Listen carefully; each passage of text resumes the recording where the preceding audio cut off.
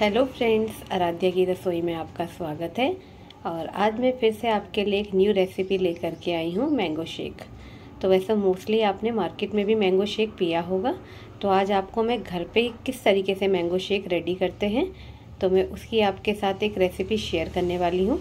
आप भी अपने घर में ये ज़रूर ट्राई करें, घर पर बना कर देखें।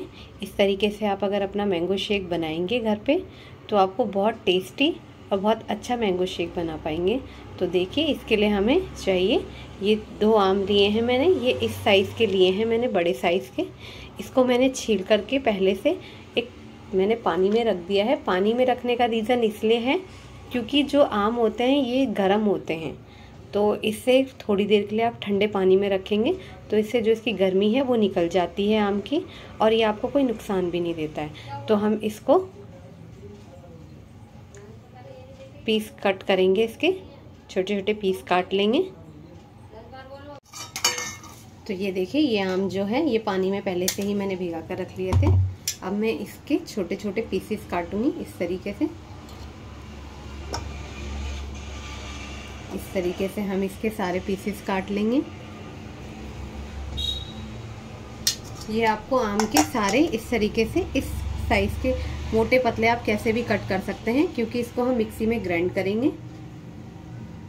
तो आप दोनों आम को इस तरीके से कट कर लीजिएगा। देखिए, ये हमने जो आम थे, उसको स्लाइस में हमने कट कर लिया है इस तरीके से।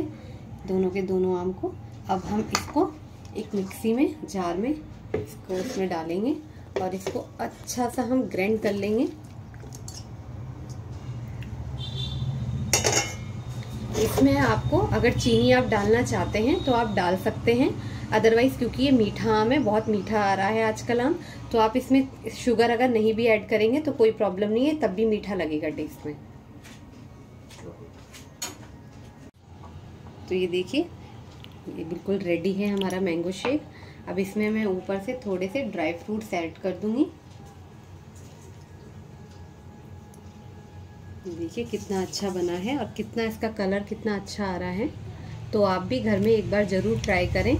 घर में आप अपना इसी तरीके से आप मार्केट से मैंगो ला करके और आप मैंगो शेक बना सकते हैं। आप इसमें आइस भी ऐड कर सकते हैं, लेकिन अगर कोई आइस नहीं नहीं चाहता है पीना तो आप इसको ऐसे भी नॉर्मली आप इसको पी सकते हैं।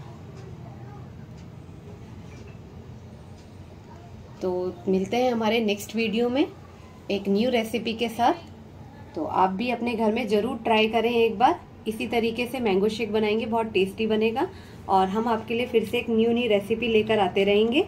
तब तक के लिए धन्यवाद।